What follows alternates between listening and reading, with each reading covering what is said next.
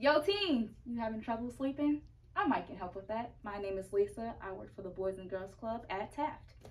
My name is Jamari. I'm a junior staff, and today we're going to give you some tips to sleep better. First one is going to be lowering temperature and get comfortable.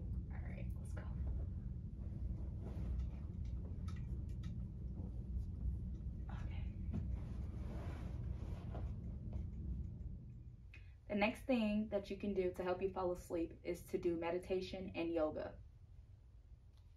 Another thing you can do is to avoid looking at your clock.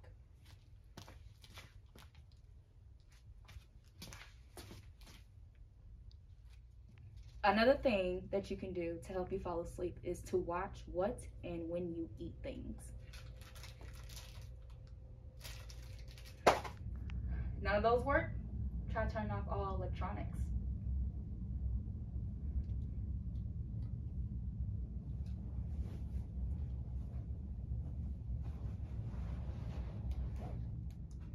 You can also try reading. And if none of those things work, try relaxing music. Oh, yeah.